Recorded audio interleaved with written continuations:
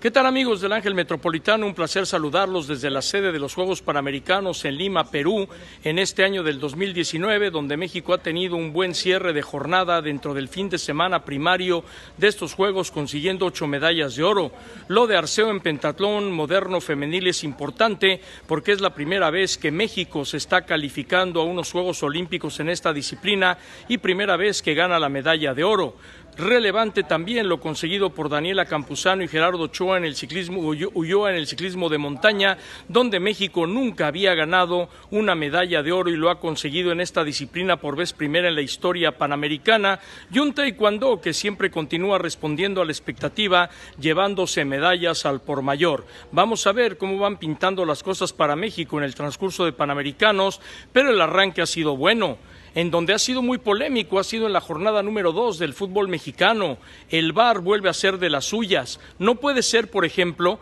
que la jugada de Salcedo, que era una expulsión directa flagrante, haya pasado por el VAR para ser determinada y la expulsión de Salcedo Jr. lleva a que Tigres se disminuya en la cancha y Guadalajara, con gol del pollo briseño y un penalti de pulido en el último minuto, derrota a los Tigres dos goles por cero. Vaya show de Tomás Boy diciéndole a Guiñac, yo soy el número uno por los 104 goles con Tigres, pero creo que el jefe se extralimitó y es más importante la victoria uno que el uno que le señaló a Guiñac. También polémica con el VAR en el empate a cero goles entre León y América, que quitan un penalti que ya habían dado, la expulsión de Navarro que se decreta a través del VAR, y el VAR continúa dando de qué hablar, pero yo sí creo que le ha traído justicia al balompié. El adiós del Conejo Pérez en la lágrima en el partido entre el equipo de Cruz Azul y Toluca, que termina empatado a un gol y termina una trayectoria brillante del que era el jugador más longevo en el balompié mexicano, Óscar el Conejo con sus 46 años de edad.